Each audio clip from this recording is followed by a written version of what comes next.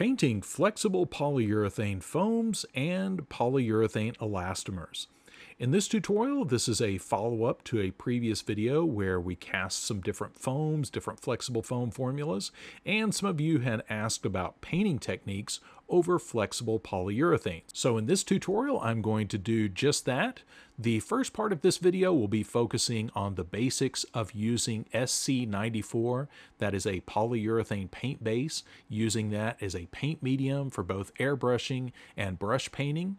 And then I'm going to follow that up with some tests I've done on using the SC94 as an in-mold coating.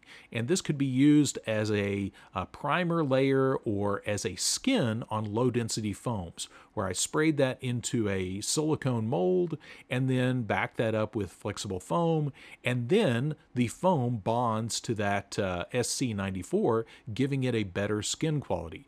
So more about that in a minute, but for now, let's get started with the painting process. Now, first off, SC94, the SC just stands for single component. In BJB's product line, there's TC, which is two component, and SC, which is single component. Now, before each use of the SC94, you want to make sure you shake that up really well, make sure all the magic is properly dispersed.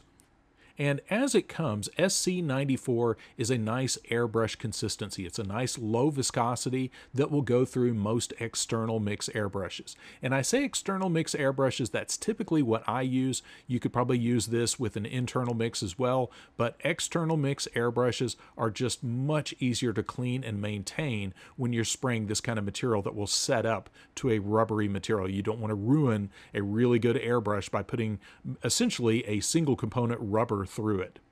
Now, once I've tested my spray pattern, we're just going to spray this onto the back of a silicone mold, just so you can see what this looks like when we spray this on and allow it to dry and then peel it off. And typically, when I need to speed up the dry time, I just use a regular hair dryer to dry that out. And once the SC94 completely dries, it dries to become a flexible, stretchy polyurethane membrane that sticks very well to polyurethane foams and polyurethane rubbers and a variety of other surfaces. We've also had people use this for painting latex masks. But the important thing here is that it dries flexible and clear, so it's ideal as a paint base for polyurethanes. Now, before we get started, here are some important tips to remember when you're painting polyurethane foam and polyurethane elastomers. Remember that polyurethane foam and rubber or elastomers, these parts must be clean and free of any release agent residue. If there's any release agent residue, the SC94 will not stick and it will just peel right off. And also, you want to remember that some polyurethane rubbers may not take paint as well as others. Some polyurethane elastomers dry with an oily surface, and this can lead to the SC94 peeling right off. So always a good idea to test to ensure compatibility. And as we go through this video, I'll be listing all of the materials I used and link those in the video description so you can make sure that you're using compatible materials. Now, SC94 as it comes is just a clear material that, again, you just want to make sure you shake that up before each use. But because it comes clear, it's up to you to pigment that to the color you want. And overall, this is a pretty easy process. For pigments on this, I use water-based pigments that can be obtained at pretty much any hardware or paint store. Just make sure when you're asking for these pigments that you specify that you're going to be adding this to a water-based system. So pigments that are compatible with latex paints, for instance, will work great with SC94.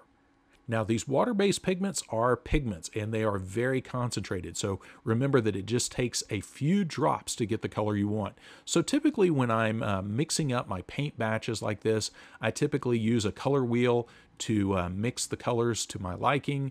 And this is one of those things, start with a little bit of pigment and work up from that point because you can't remove that pigment from the SC94 once you put it in. So gradually build up to the color that you want and then you are ready to paint.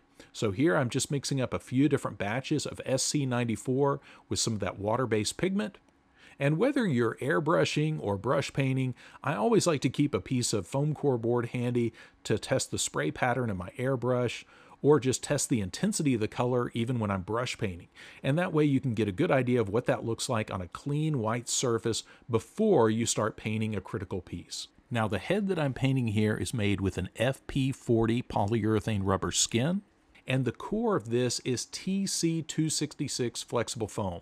And that, of course, if you saw the previous video, um, that was mixed to the 50 to 100 ratio for a three pound density.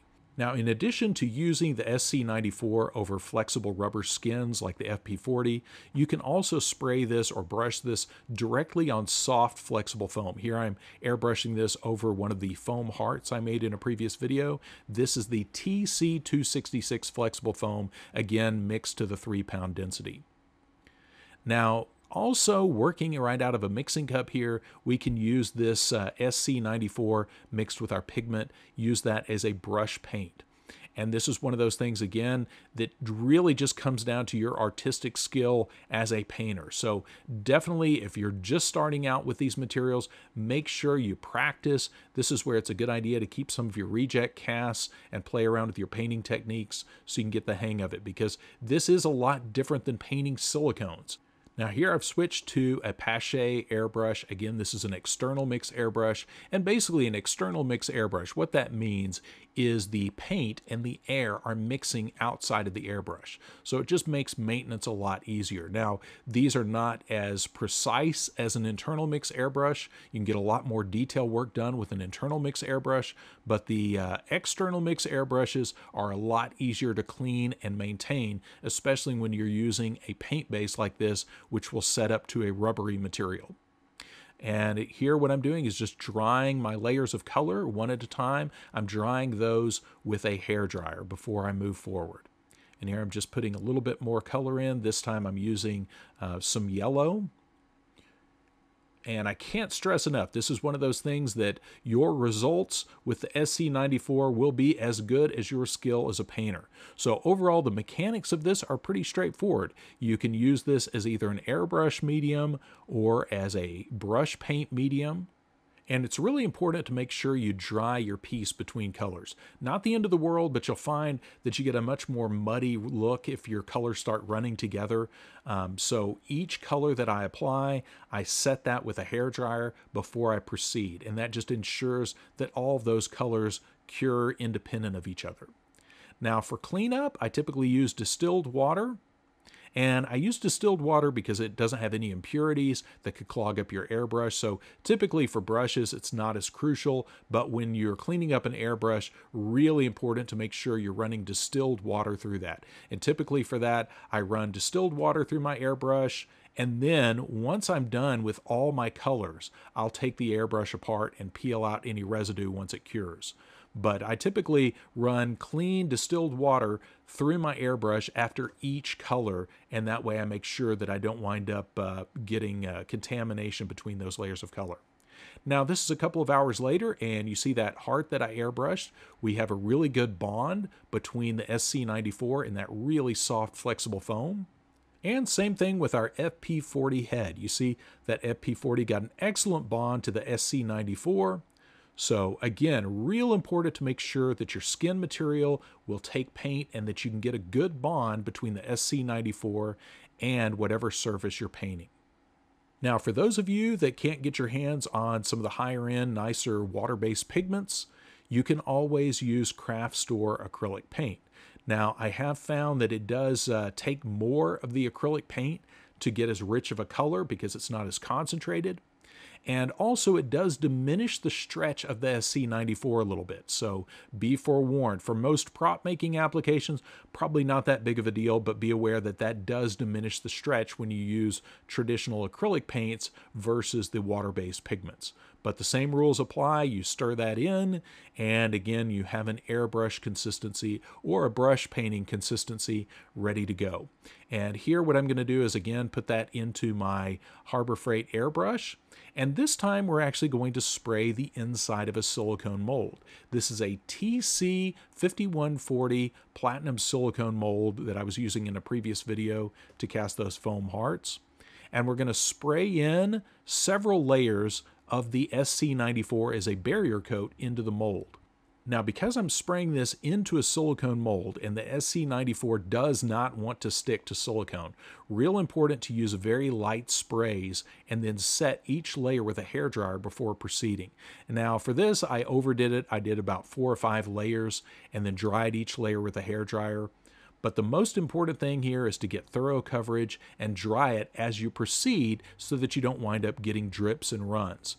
And then before I cast my foam, I let this sit for a couple of hours and dry completely before I cast the foam behind it. And that way I don't get any contamination from the water coming out of the SC94 as it's drying.